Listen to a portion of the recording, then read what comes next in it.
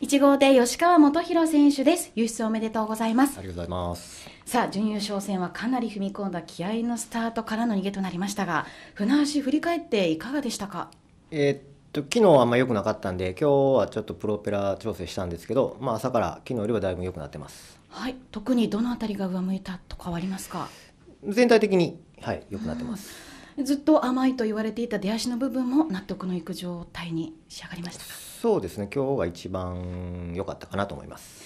はい、えー優勝戦へ向けての作業というところではさらに上積み求めていきたいところはありますか？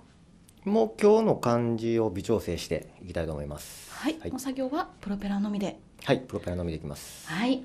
えさて今節のスタートの見え方についてはどうでしょ今日ちょっとあの進入が中途半端になって分からん分からずにいったんですけど、まあ、大体勘通りにいけてます。うはい。えそれでは最後にファンの方へ向けて優勝への意気込みを一言お願いします、はいあの優勝できるように頑張ります。ご声援よろしくお願いします